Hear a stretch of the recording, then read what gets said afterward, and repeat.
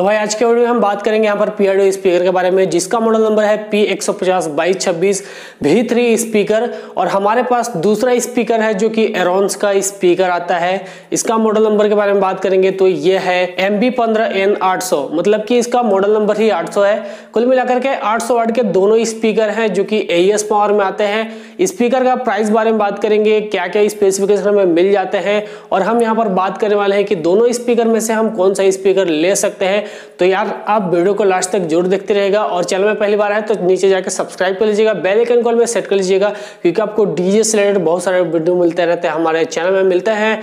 Video में और सारे डिटेल्स में आपको देने वाला हूँ इस वीडियो में, कौन सा एम्पलीफायर लगेगा, दो टॉप के लिए, चार टॉप के लिए, इसका आरएमएस पावर कितना होगा, कौन सा स्पीकर हमारे लिए बेस्ट रहेगा, सभी जानकारी देखने के लिए इस वीडियो को एंड तक ज़रूर देखते रहेगा तो चलिए स्क्रीन पर चलते हैं और सारे डिटेल्स में आपको बताता हूँ। हम डिस्प्ले पर और हम यहाँ पर देखने वाले हैं एरोन्स का स्पीकर और पी का स्पीकर का कंपेयर कौन सा स्पीकर जीतने वाला है, ये सारा चीज़ आप देखेंगे इस वीडियो के ऊपर, जिसमें कि प्राइस भी बताने वाला हूँ एम्पलीफायर कौन सा लगेगा आरएमएस पावर स्पीकर का कितना हो गया, ये सारी चीज़ डिटेल्स जो है मैं आपको इस वीडियो में देने वाला हूँ। तो यहाँ पर एरोन्स का जो स्पीकर है, इसका मॉडल नंबर के बारे में बात करेंगे एम बी जो कि स्पीकर का आप लुकिंग वाइज देख सकते हैं। आपको क्या क्या डिटेल्स देखने को मिलते हैं, इसके ऊपर हम ज़्यादा बात नहीं करेंगे। पी का स्पीकर में पी एक सौ पचास बाईस छब्बीस भीतरी इसका मॉडल नंबर है, जो कि पहले ओनली बाईस छब्बीस आता था, अभी भी थ्री ऐड कर दिया गया है, जो कि यहाँ पर न्यू मॉडल में आपको देखने को मिलता है। इसका जो चेजिस है, वो यहाँ पर चेंज कर दिया गया है। पहले वाला चेजिस जो है, वो अलग आता था और स्पीकर वो हज़ार वार्ड ए एस पावर में आता था और अभी आठ सौ वार्ड ए एस पावर में आने लगा है। प्लस यहाँ पर एरोन्स का भी स्पीकर आठ सौ वार्ड ए एस पावर में ही आता है। हम बात करेंगे यहाँ पर इसके स्पेसिफिकेशन के ऊपर तो दोनों स्पीकर का स्पेसिफिकेशन हम साथ में देखते चलेंगे। तो यहाँ पर नॉमिनल इम्पोर्टेंस के बारे में बात करेंगे तो एट ओम्स का दोनों स्पीकर आपको देखने को मिलता है। वॉइस कोयल चार इंच का दोनों में देखने को मिलता है, लेकिन पी में आपको थ्री पॉइंट नाइन इंच का वॉइस कोयल देखने को मिल जाता है। तो आप थोड़ा सा यहाँ पर आप देख सकते हैं, थोड़ा सा छोटा है, लेकिन दोनों में सेम मान लीजिए कि चार इंच का ही वॉइस कोयल यूज़ किया जाता है। और यहाँ पर वॉइस कोयल के बारे में बात करेंगे मतलब मटेरियल के बारे में वॉइस कोयल का मटेरियल क्या यूज़ किया गया है। तो यहाँ पर थोड़ा सा डिफरेंस है एरोन्स में कॉपर का मटेरियल यूज़ किया गया है, और यहाँ पर पी में आपको वॉइस कोयल जो मटेरियल है वो ए एल आर यहाँ पर यूज़ किया गया है। तो यहाँ पर डिफरेंस आपको देखने को मिलता है कोयल मटेरियल के ऊपर। बास्केट दोनों में सेम है कास्ट अलूमिनियम का यूज़ किया गया है। और पावर के बारे में बात करेंगे 800 सौ वाट ई पावर में दोनों स्पीकर आते हैं। और सेंसिविटी के बारे में बात करेंगे तो इसमें थोड़ा सा डिफरेंस आपको देखने को मिलता है। जैसे कि एरोन्स में आपको छियानवे दशमलव दो डीबी के यहाँ पर आपको सेंसिविटी देखने को मिलता है और पी में यहाँ पर संतानवे डी देखने को मिलता है। मतलब ज़ीरो पॉइंट आठ डीबी थोड़ा सा ज़्यादा है पी लेकिन अब हम बात करते हैं कि कौन सा स्पीकर ज़्यादा बजेगा या फिर जो भी है वो सारा चीज़ हम वीडियो के आगे डिस्कस करने वाले हैं। तो यहाँ पर फ्रीक्वेंसी रेंज के बारे में बात करेंगे, जो कि हम फ्रीक्वेंसी रिस्पॉन्स भी बोल सकते हैं। तो दोनों स्पीकर का अलग अलग फ्रीक्वेंसी जैसे कि पैंतीस हर्ट से लेकर के दो हज़ार तक और पी आर यहाँ पर काम करता है चालीस हर्ट से लेकर के दो हज़ार तक। मतलब कि यहाँ पर एरोन्स का पाँच हर्ट से नीचे से ही उठाने लगता है मतलब इसमें ज़्यादा बेस आपको मिलता है थोड़ा सा अब हम बात करेंगे नेट वेट के बारे में। स्पीकर का नेट नेट वेट यहाँ पर आठ किलो दो सौ ग्राम, जो कि एरोन्स का स्पीकर है, और नेट वेट यहाँ पर पी का दस किलो चार सौ ग्राम, वेट का अंदाज़ा आप लगा सकते हैं, लगभग दो किलो दो सौ ग्राम के आसपास ज़्यादा है यहाँ पर पी का स्पीकर क्योंकि इसमें फ्राइट मैग्नेट में आपको स्पीकर देखने को मिलता है एरोन्स का स्पीकर आपका न्यू मैग्नेट में आपको देखने को मिल जाता है। यहाँ पर लाइट वेट आपका जो है बॉक्स बनने वाला है, तकरीबन चार पाँच किलो के आसपास आपका वेट जो है वो कम हो जाएगा। तो ये प्लस पॉइंट है। अब हम बात करते हैं दोनों में से कौन सा हम लेंगे। प्राइस भी हम पहले बात करेंगे। प्राइस के बारे में बात करेंगे एरोन्स का एम बी पंद्रह एन आठ सौ, जो कि आठ सौ वार्ड ए एस पावर में ही आता है। इसका आर एम एस पावर छः सौ वाट आपको देखने को मिलता है। प्राइस रेंज लगभग 9000 से लेकर के 10000 के बीच में आपको देखने को मिलता है। पीआरडीओ का स्पीकर जो है, वो भी तकरीबन 10000 के अंडर में आपको मिल जाएगा। मार्केट में थोड़ा बहुत कम ज़्यादा हो सकता है। दोनों स्पीकर का प्राइस अप्रॉक्सीमेटली मैंने आपको बताया है। प्राइस समय के हिसाब से कम ज़्यादा होते रहते हैं। अब हम बात कर लेते हैं कि दोनों में से कौन सा स्पीकर हम ले सकते हैं या फिर कौन सा लें। तो दोनों में से कोई भी ले सकते हैं। लेकिन मैं कहूँगा कि आप एरोन्स की तरफ़ आप एक बार ट्राई ज़रूर करें, क्योंकि एरोन्स की तरफ़ आप जाते हैं तो इसमें प्लस पॉइंट क्या है कि न्यू डी में मैग्नेट आपको देखने को मिलता है। दोनों मॉडल के हिसाब से अगर हम बात करें प्लस जो स्पीकर का पावर जो है वो दोनों का सेम है। प्राइस के बारे में बात करेंगे तो लगभग सिमिलर आपको प्राइस भी देखने को मिलता है।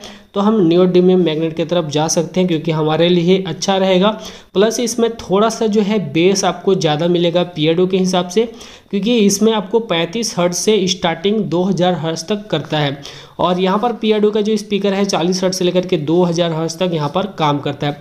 तो कहीं ना कहीं आपको थोड़ा सा बेस जो है एरोन्स के स्पीकर में देखने को मिलता है। थोड़ा सा ज़्यादा मतलब आपको पता भी नहीं चलेगा कि मतलब ज़्यादा बेस मार रहा है। मतलब हम कह सकते हैं कि दोनों का जो साउंड क्वालिटी है, वो लगभग सिमिलर ही रहेगा, लेकिन बेस थोड़ा ना, कहीं ना कहीं मतलब एरोन्स का थोड़ा सा ज़्यादा रहेगा और यहाँ पर पी में मिड काफ़ी ज़्यादा रहेगा। मतलब मिड जो है वो काफ़ी अच्छा रहेगा। दोनों में से कौन सा विनर रहेगा? तो दोनों में से विनर के बारे में बात करेंगे तो मेरे हिसाब से एक पॉइंट ज़्यादा रहेगा एरोन्स के तरफ़, क्योंकि हम इसलिए इसको आगे कर रहे हैं, क्योंकि आप कहीं ना कहीं आप देखेंगे मार्केट में पी का जो स्पीकर आता है, वो आपको कॉपी मिल सकता है। इसलिए मैं यहाँ पर आपको एलोन्स के ऊपर सजेशन कर रहा हूँ कि आप इसके ऊपर जा सकते हैं, क्योंकि इसका कॉपी थोड़ा सा जो है आपको नहीं के बराबर मिलेगा अभी मार्केट में। हो सकता है अभी इसका कॉपी आया भी ना हो तो आपको ओरिजिनल प्रोडक्ट मिलेगा तो आपको काफ़ी अच्छा क्वालिटी भी मिलेगा।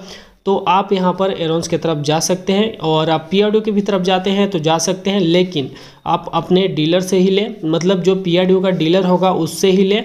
अगर आप लोकल मार्केट में लेते हैं तो आपको कॉपी मिल सकता है और प्राइस रेंज आप देख लेना। अगर कम में मिलता है तो आप समझ जाना कि कॉपी स्पीकर है, उतना अच्छा साउंड क्वालिटी आपको नहीं मिलेगा उस स्पीकर में, जैसा आपको मिलना चाहिए। तो चलिए बात करते हैं यहाँ पर एम्पलीफायर के बारे में। जैसे कि मैंने आपको बताया कि हम कौन सा एम्पलीफायर यूज़ करेंगे तो ज़्यादा टाइम वेस्ट ना करते हुए हम बात करेंगे एक टॉप के ऊपर। तो एक टॉप के ऊपर हम एच के बारे में मैं आपको बता देता हूँ। आप सौ वाट से लेकर के एक वाट का एच यूज़ कर सकते हैं डुअल टॉप के ऊपर। तो यहाँ पर एक टॉप में हम एम्पलीफायर जो लगाएँगे, वो लगाएँगे यहाँ पर सात सौ वाट का बूस्टर एम्पलीफायर में हम चला सकते हैं। लेकिन अगर आपके पास हज़ार वाट का एम्पलीफायर है तो काफ़ी बेस्ट आपको साउंड क्वालिटी देखने को मिल जाता है। तो आप हज़ार वाट का एम्पलीफायर यूज़ कर सकते हैं। सिंगल चैनल अगर हम बात करते हैं दो टॉप के ऊपर तो दो टॉप के लिए आप यहाँ पर तीन हज़ार वाट का एम्पलीफायर कम से कम आपको लेना चाहिए। अगर आपके पास बजट काफ़ी अच्छा है तो आप लाइक यहाँ पर चौंतीस वाट का एम्पलीफायर यूज़ कर सकते हैं, जैसे कि एम टी सेवन ज़ीरो या फिर आप सी ए भी यूज़ कर सकते हैं। मतलब जो साउंड स्टैंड का एम्पलीफायर आता है, वो सी ए भी एम्पलीफायर यूज़ कर सकते हैं। दोनों स्पीकर सेम वाटेज का है तो मैं दोनों का ही बता रहा हूँ, आप समझ लीजिए। पी लेते हैं तो पी के लिए भी सेम एम्पलीफायर रहेगा। एरोन्स कर लेते हैं तो एरोन्स का भी सेम एम्पलीफायर रहेगा। अब हम बात करेंगे चार टॉप के लिए। चार टॉप अगर आप चलाना चाहते हैं तो आप पाँच हज़ार वाट का एम्पलीफायर यूज़ कर सकते हैं, जो कि टू ओम्स के ऊपर रिकमेंडेड हो। उस टाइप का एम्पलीफायर आप ले सकते हैं। जैसे कि एग्ज़ाम्पल के तौर पर हम चलते हैं यहाँ पर एन एक्स ऑडियो का एम टी बारह ज़ीरो एक या फिर आप ऑडियो टोन का एम टी बारह ज़ीरो एक यूज़ कर सकते हैं। या फिर आप एन लैब्स के ऊपर भी जा सकते हैं एक्स फाइव लेकिन उसमें थोड़ा सा जो है क्लिपिंग का जो है वो थोड़ा सा इशू है। उसका लाइट जो है, उसका मीटर जो है वो बढ़ा दिया गया है। मतलब क्लिपिंग जल्दी नहीं होगा तो आप ज़्यादा साउंड करेंगे तो हो सकता है आपका स्पीकर डैमेज हो जाए। लेकिन आप मिक्सर से अगर ज़ीरो डी के लाइट में चलाते हैं तो आपका स्पीकर डैमेज नहीं होगा तो आप एक्स फाइव भी यूज़ कर सकते हैं।